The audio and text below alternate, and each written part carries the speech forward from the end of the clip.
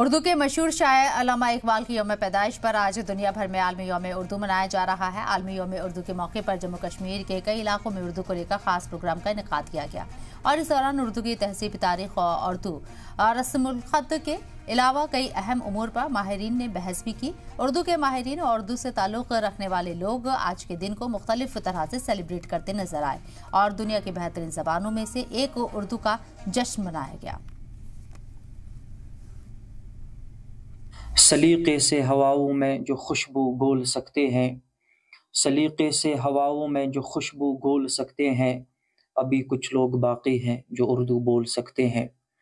सामीन व नाजरीन, आप सब इस बात से बखूबी आगाह है कि आज का दिन आलमी योम उर्दू के बतौर मनाया जाता है।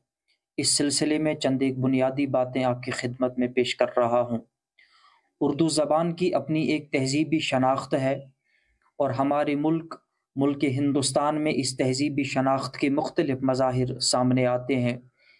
उर्दू ज़बान महज इंसानी जज्बात और एहसास के इश्तराक का ज़रिया नहीं, बल्कि हमारे मुल्क मुल्क हिंदुस्तान में मुख्तलिफ़ तबकों से मुंसलिक लोग इस ज़बान से भरपूर इस्तेफादा करते हैं और इस ज़बान में अपने तजुर्बात और एहसास को दूसरों तक मुंतकिल करते हैं।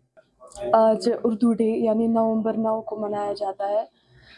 मशहूर जो शायर है, डॉक्टर अलामा इकबाल, उनके जन्मदिन पर मनाया जाता है। और ये दिन पूरी दुनिया में उनके, उनको याद करने के लिए है, यानी उनके लिए मनाया जाता है, क्यों